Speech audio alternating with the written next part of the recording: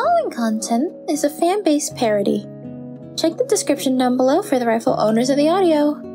The only content that belongs to this YouTuber is the crazy idea to create this parody. Make sure to enjoy, and thanks for watching.